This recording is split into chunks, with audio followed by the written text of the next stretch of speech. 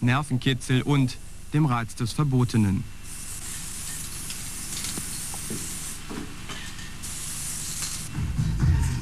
Raus aus dem Alltagstrott.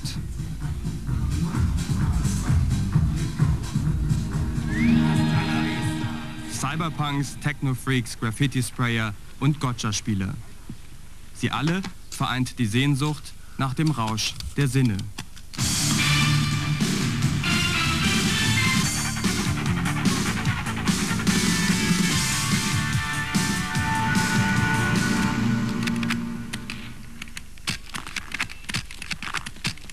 Junge Männer spielen Krieg. Ein Szenario wie aus den Krisengebieten dieser Welt. Gotcha, das Farbpistolenspiel, boomt in Deutschland. Einer von ihnen ist Rüdiger. Der 25-jährige Berliner arbeitet in einer Getreidefirma. Seit gut einem Jahr ist Rüdiger begeisterter Gotcha-Spieler. Gotcha ist für mich eigentlich eine Sache, ja, die mich, wo ich eigentlich alles kriege, was ich irgendwie ganz gerne so ein bisschen privat hätte. Also Abenteuer, Spannung, was eigentlich so, ja, eigentlich in fast jedem Beruf fehlt. Also mhm. selbst ein, will ich nicht, irgendein Forscher im, im, vorigen Jahrhundert hat bestimmte Tage gehabt, wo er viel erlebt hat und Tage der Eintönigkeit, der Monotonie. Mhm.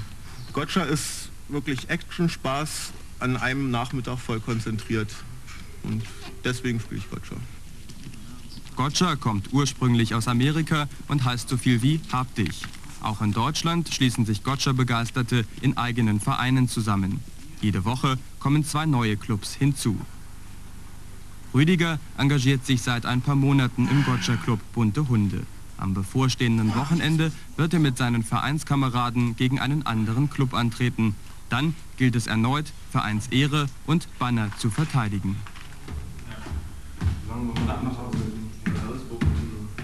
Stefan ist Vorsitzender des Gotcha-Clubs Bunte Hunde.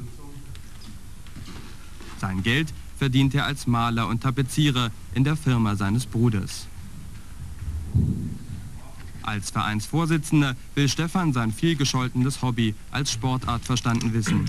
Weg vom Image einer paramilitärischen Kampfsportart. Ja, der Reiz, eben der Nervenkitzel halt, ähm, sich zu verstecken, die Leute aufzulauern halt. Und der Spaß, der Spielspaß halt, so wie man früher halt gerne Räuber und Gendarm als kleiner Junge gespielt hat, könnte man das so in Perfektion halt sehen, mhm. eben mit Farbkugeln. Mhm. Früher da hat man halt seine Wasserpistole in der Hand gehalten und hat da dann mit rumgeschossen, aber ansonsten. Jetzt spielt er ja morgen wieder, geht raus ins Gelände. Ähm. Gibt es auch schon so ein bisschen Vorfreude bei dir? Und wenn ja, ja natürlich. Ähm, wie äußert sie sich? Ja, Aufregung, Schmetterlinge im Bauch und ja, man freut sich halt schon die ganze Zeit darauf, weil wir gehen ähm, in der Regel einmal im Monat ungefähr spielen und ist äh, im Vergleich zu anderen relativ wenig. Mhm. Und na, man freut sich halt den ganzen Monat darauf und man kann es eigentlich manchmal kaum abwarten. Ein Tag vor dem Wettkampf. Stefan besorgt im Auftrag seines Clubs die Munition. Farbkugeln sowie Gewehre, die sogenannten Farbmarkierer, sind in fast allen Waffengeschäften erhältlich. Sie dürfen jedoch nur auf umzäunten Privatgrundstücken eingesetzt werden. Darüber hinaus schreibt das Waffengesetz das Tragen von Schutzbrillen und entsprechender Kleidung vor. Samstagvormittag. Rüdiger und Stefan auf dem Weg zum Wettkampf. Ihr Ziel ein ehemaliges Übungsgelände der Nationalen Volksarmee östlich von Berlin.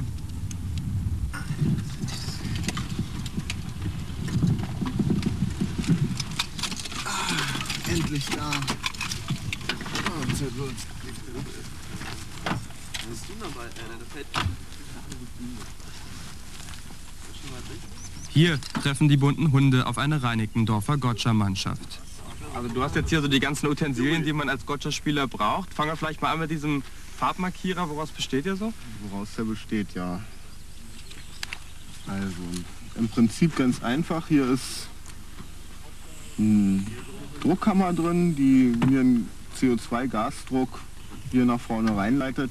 Durch eine Pumpfunktion lade ich einmal mit Gas und durch Abdrücken wird das Gas freigesetzt. Mhm. Gleichzeitig kommen hier oben diese Farbbälle rein. Da habe ich meine sogenannte Ammo-Box dran, praktisch mein Magazin. Die Hast kommen hier rein Farbbälle und da? fallen automatisch durch, ja. Die sehen dann praktisch so aus, Mhm. bestehen aus Gelatine mit Lebensmittelfarbe gefüllt. Gotcha-Kugeln können eine Geschwindigkeit von über 400 Stundenkilometern erreichen. In Deutschland dürfen sie nicht schneller als 250 fliegen. Vor dem Kampf müssen alle Spieler ihre Waffen auf dieses Limit trimmen. Mit roten und weißen Armbinden werden die beiden Teams gekennzeichnet. Die Schiedsrichter haben die Größe des Spielfeldes abgesteckt und geben nun letzte Einweisungen ins Regelwerk. Gewonnen hat, wer die Fahne der gegnerischen Mannschaft erobert und zum eigenen Ausgangslager zurückbringt. Welche Taktik habt ihr euch jetzt überlegt? Ja, wir teilen uns auf. Eine Gruppe geht hier links außen lang. Ich gehe mit zwei Leuten hier rechts lang, um an die Fahne ranzukommen. Und ja, zwei Leute bleiben hier zur Verteidigung. Zehn Sekunden.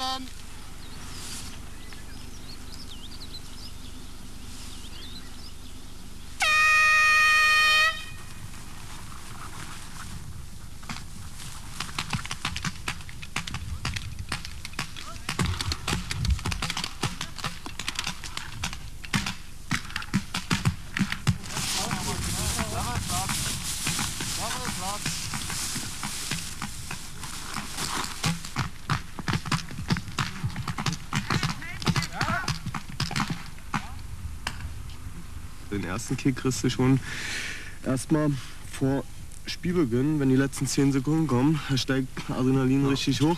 Jetzt geht's los gleich, jetzt geht's los und dann ertönt die Hub und schnell nach vorne ein Stück erstmal. Und wo ist der erste Gegner? Wo ist er? Kann man schon was sehen? Und wenn man dann nichts sieht, dann steht man erstmal da und was ist denn jetzt? Wo sind sie? Und man muss dann erstmal einen Überblick haben. Nicht? Man muss erstmal sich einen leichten Überblick über das Spielgeschehen, sage ich mal, schaffen, um einigermaßen koordiniert vorwärts zu kommen. Nicht? Und ähm, Der zweite Kick kommt dann, wenn die Paintballs auf einen zugeflogen ja, genau, wenn kommen. dann die ersten, also die ersten Schüsse fallen, dann geht's richtig los. Dann steigt der Adrenalin ins Spiel richtig. Und wenn man selber auch unter Beschuss genommen wird, dann ähm, wird's Ja. richtig heiß. Ja, auf jeden Fall. Mal schnell 10 Meter zurückweichen und eine neue Situation sich durchdenken. Auf einmal ist der ganze Plan, den man sich vorher ausgearbeitet hat, schon hinfällig.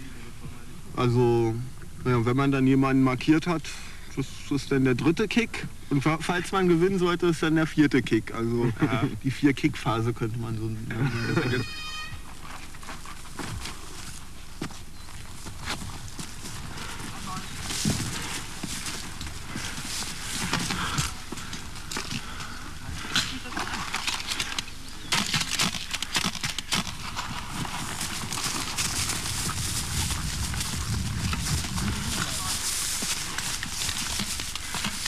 Oh, Alter,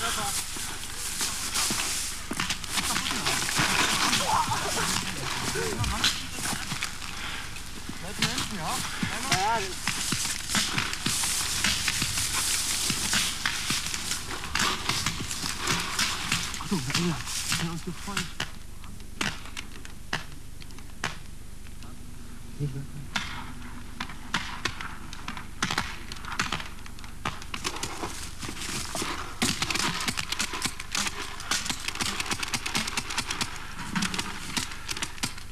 Und hat hier Gotcha in der Öffentlichkeit ein Image, das ihr gerne anders sehen würdet? Also in der Öffentlichkeit werden ja Gotcha-Spieler häufig so als äh, Hobbysoldaten und so betrachtet. Liegt es aber nicht auch ein bisschen an euch selbst, nämlich daran, dass ihr ja ein sehr naja, militärisches Outfit habt und die ganze Situation ja auch sehr an kriegsähnliche Auseinandersetzungen erinnert? Das hängt mit unserer Gesellschaft zusammen. Denn das Militär ist ja nun nicht gerade sehr beliebt in der Gesellschaft, nicht? Ja, aber das Militär wird jetzt auch äh, hinaus in die Welt geschickt.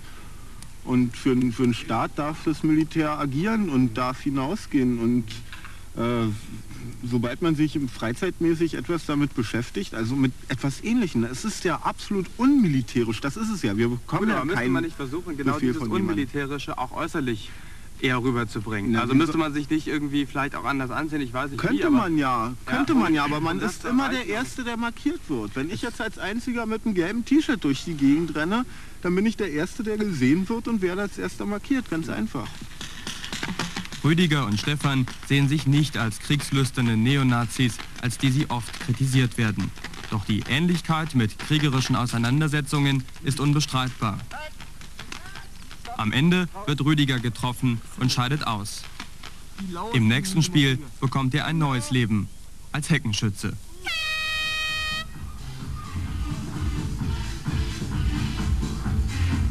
Nach dem Spiel erholt sich Rüdiger beim Billard im Cybercafé. Hier trifft sich eine neue Generation von Erlebnissuchenden. Mit Videobrille